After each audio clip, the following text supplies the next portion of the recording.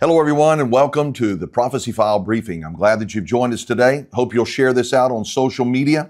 There's a lot of information, a lot of things that are happening in our world today, and we want to zero in on one thing, and it deals with the deceptive and divisive tactics of the devil that the Bible speaks about specifically and how that is happening in our world today. So, from this article, and let me say from the outset, any of these prophecy file briefings that we bring to you, certainly you can find the information uh, that's available to you. We vet that and uh, do our best to be able to make sure that all things are exact and accurate to your uh, understanding. But it's very important that you check all things and feel free to do that because just like today's article, there is much rhetoric that's going on today concerning uh, what has happened, of course, in the past, what's happening right now, and misinformation, as it's called, all the time. That's the reason why you need to do your own research and make sure that things line up. And I believe that you'll find uh, that Bible prophecy is being fulfilled uh, on a daily basis. This article is one you'll want to read, I'm sure in its entirety. I won't give it all to you here today, but the title of it is The Lie of the Century The Origin of COVID 19. We now know after four years of research that there has been, and investigations and all that's been taking place, that what we have heard in the past as being factual was actually a lie. And you can research this for yourself. In this particular article, this author who is who has done his own research and uh, has laid out very uh, succinctly, he makes this statement. We are presented at the outset with two competing theories the natural origin spillover, these are important words for you to get a hold of, from animals to humans, and an accidental lab leak. And at the outset, a cadre of elite scientists passionately arguing that the evidence overwhelmingly favored a natural origin with the comparative uh, fervor, they dismissed the possibility that the COVID 19 leaked from a lab as conspiracy theory. Now, I, again, I won't be able to go through the entirety of the article, it's quite extensive. But throughout this article, he speaks to us concerning the lab leak and its theory. He speaks to us in this article about the Chinese cover up, uh, not allowing anyone to go in and actually investigate what's going on.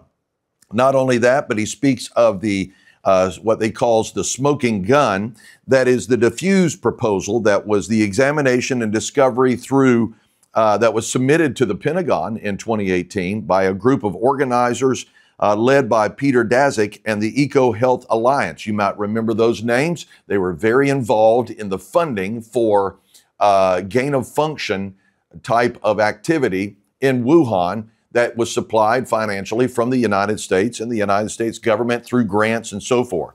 And then the, he goes on to speak about the real conspiracy and outlines for us what that really looks like in these comparative two.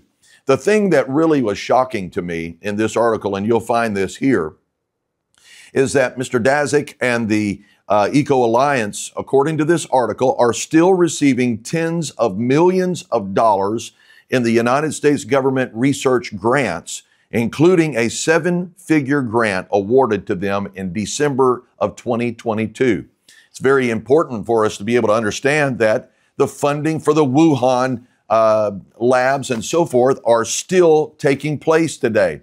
And I believe that he outlines it very clearly so that you can have a clear distinction uh, as to what has taken place. In the conclusion of his comments, he makes this statement Presented with the evidence objectively, the American people can now decide for themselves whether the natural origin theory of COVID 19 represents the most implausible string of coincidences imagined or the lie of the century.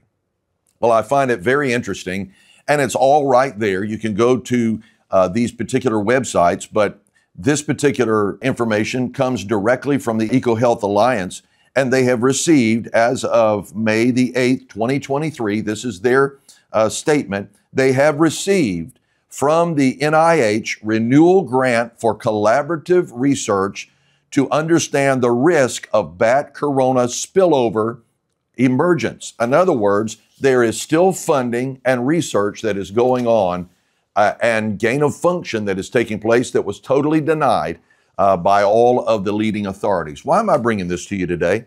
Because we are living in a time of great deception. That deception is dividing the thoughts of uh, people, uh, in families, even in the United States. We're seeing a great division take place there.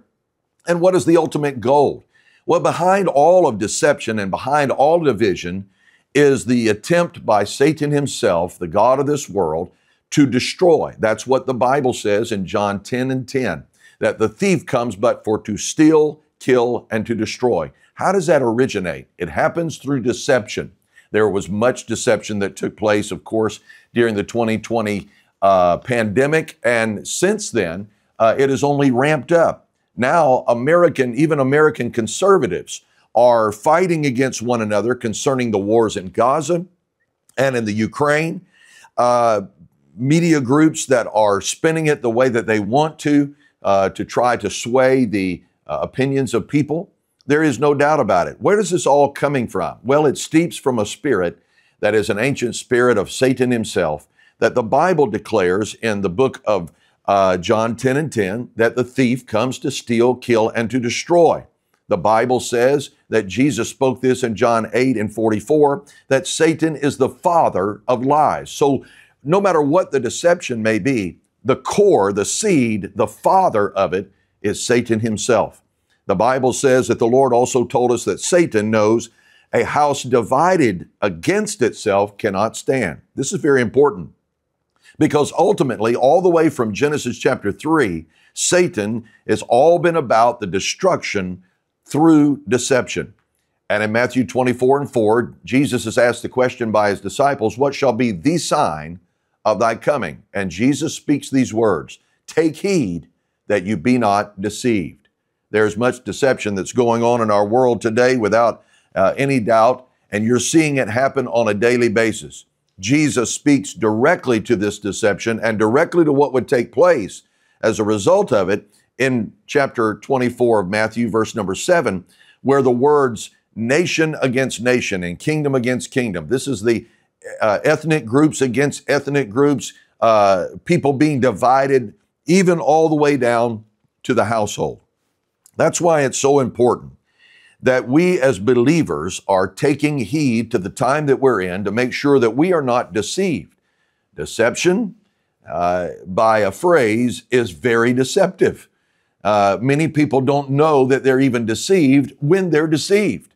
You can look at something, and let me just say it like this.